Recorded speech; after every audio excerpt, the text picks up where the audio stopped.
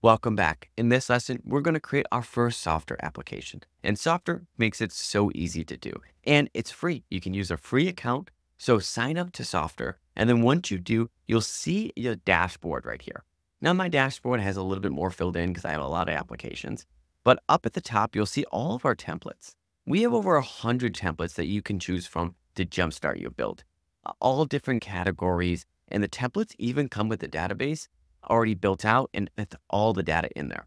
And for first time builders that aren't doing this course, because I'm going to show you everything you need to know, I recommend starting with the templates because it includes a already built application and the database that is already structured with the database there. And it's a really good learning tool for you to figure out how the database works with Softr and so much more.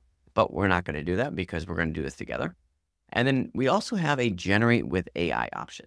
Softr makes it really easy to build an app, whether it's a client portal, an internal tool, directory, membership platform with AI. All you need to do is enter this prompt, give us some details, some colors, what you're looking to build, and Softr will do its best to build that app for you. And then from there, you can fully customize it and continue to make it your own.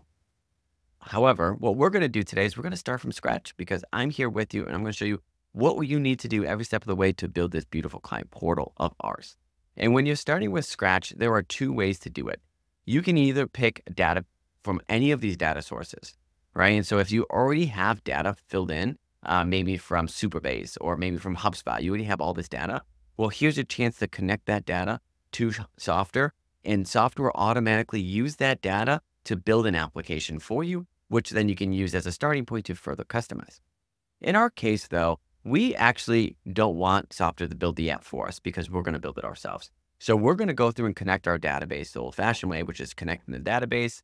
And then we're going to pull in the database that we want to build. And in this case, I have an empty Airtable base that I have yet to do anything to because we're going to do it together. And I'm connecting Softr to this Airtable database.